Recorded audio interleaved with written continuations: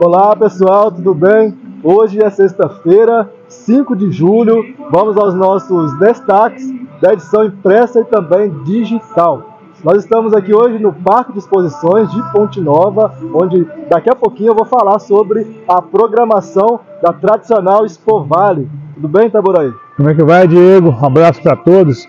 Eu começo falando sobre a nossa principal manchete, que é a investigação sigilosa da Polícia Civil sobre a entrada de celulares na nossa penitenciária. Por ser sigiloso, nós não temos detalhes sobre o trabalho dos investigadores, mas soubemos que, numa das operações, houve busca e apreensão no consultório de duas advogadas aqui da cidade e o juiz deliberou, enquanto durar a apuração, de que elas estão restritas ao do trabalho da é, advocacia criminal e não pode trabalhar dentro da penitenciária.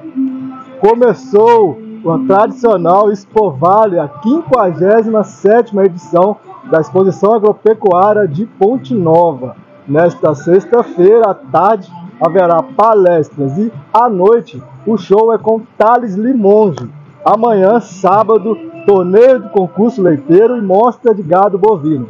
À noite, o show é com Amanda e Simara e também Marcos e Belucci. Já no domingo haverá concurso de marcha e premiação em geral. O Parque de Exposições de Ponte Nova conta com praça de alimentação, espaço kids e também estandes de empresas parceiras. Exatamente. Também destacamos na nossa edição o lançamento de um projeto para 384 apartamentos do programa federal Minha Casa Minha Vida, lá no alto do CDI.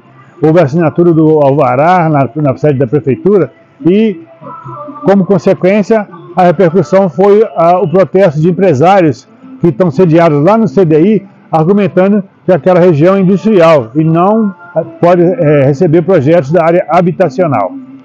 Baile na roça do Atenas Equipe teve sucesso de público. A tradicional festa junina do colégio aconteceu no último sábado lá no Bud Bar Carrancas e reuniram-se alunos, ex-alunos que apresentaram danças típicas da festa junina.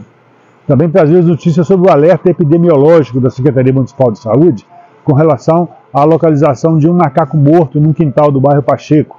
Ele foi mandado para o laboratório Ezequiel Dias em Belo Horizonte e encontraram nas vísceras dele o vírus do que causa a, febre, a febre Oropouche, essa febre já tem alguns casos em Minas Gerais e era principalmente originária de cidades do norte e do nordeste.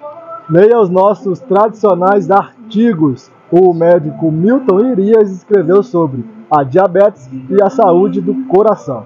Já a coach empresarial Patrícia Santos fala sobre o plano de carreira nas empresas. Isso. Também trazemos a repercussão do encerramento da festa de São Pedro, aqui em Palmeiras, uma manifestação religiosa e cultural que foi muito bonita durante a semana, e um dos destaques foi a comemoração dos 40 anos de sacerdócio do padre Nilson Guimarães.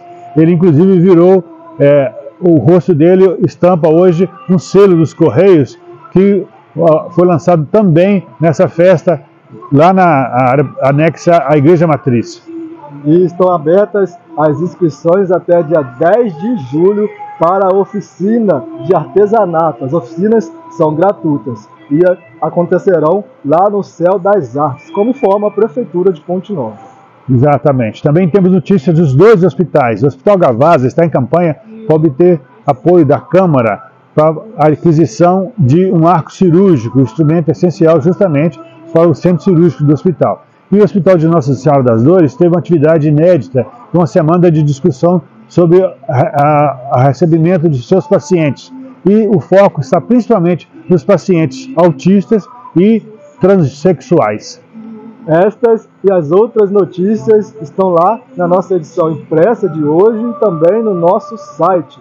Se você quiser se informar diariamente, é só acessar e cadastrar, onde você receberá a sua edição impressa de um período de degustação. A assinatura da folha é apenas R$ 14,00 por mês. Folha de Ponte Nova, compromisso com a cidadania.